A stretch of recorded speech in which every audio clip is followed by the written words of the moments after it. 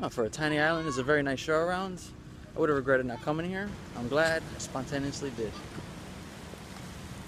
Little did I know, a spontaneous visit to a Majuro islet would have a deep connection to a U.S. nuclear presence in the Marshall Islands. A spewing column of smoke nine miles into the sky. Blinding light stronger than the sun. The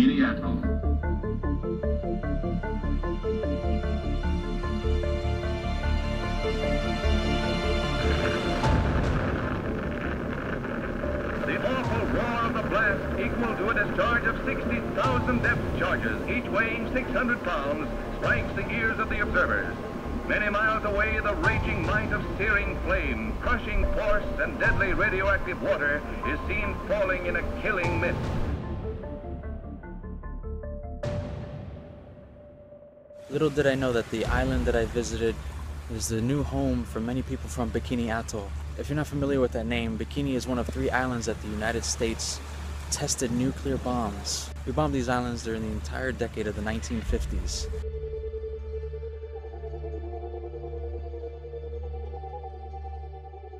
There was a day that I just decided to go to the end of the island. Uh, that was in Darrett, also known as the Spoon, which ironically looks like a spoon. When I was there, I noticed a bunch of boats coming in and out of a location, and it seemed like they go they were going to these different islets. Because of my travel curiosity, instead of going back to town, I ended up going to this spot where these boats were coming and going.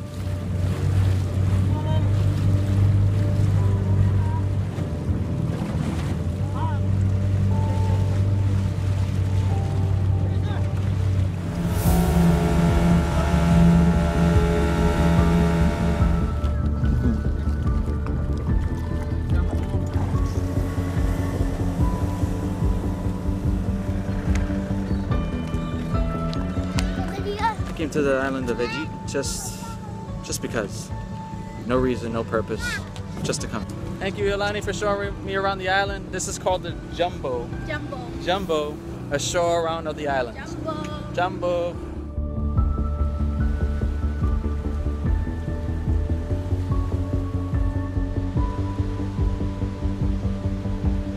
Was really grateful to Iolani for showing me around the small island, but it was through our conversation and talking story and asking questions where I found out that the very small island I was on was one of several homes. Let me correct myself. One of several places Bikini Atoll residents had to relocate.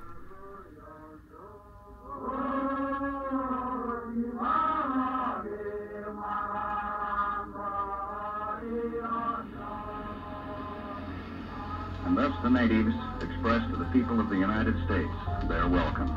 Despite the fact that the atoll of Bikini may be utterly destroyed come July the 1st, but to the natives, in their simplicity and their pleasantness and their courtesy, they're more than willing to cooperate, although they don't understand the world of nuclear energy any more than we do, and though they have no way of understanding what the test is. What I was experiencing and observing on the island was a very slow and ongoing relocation effort on the island. They had a small church, a small hospital, even had a little police station. What I did appreciate seeing was a small school there, a bunch of soldiers helping to fix it up and keep it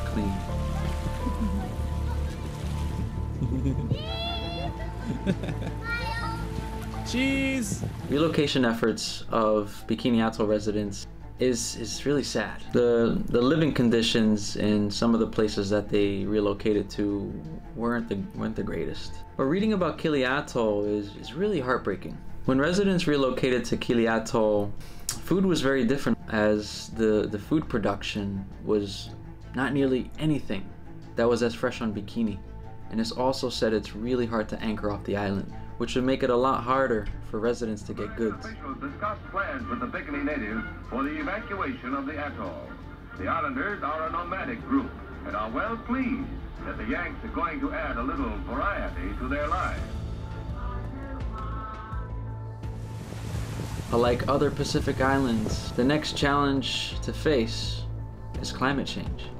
Right now, James, will you tell them that the United States government now wants to turn this great destructive force into something good for mankind, and that this experiments here at Bikini are the first step in that direction. Very good, and they're willing to go, and everything is gone.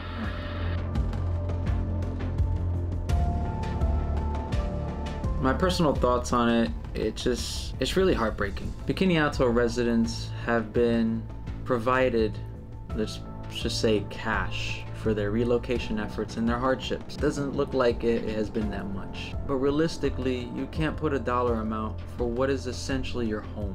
It's one thing to live in a house, but when it comes to a place that encompasses your culture and your being as a people, take that away, you gotta ask yourself, what's left?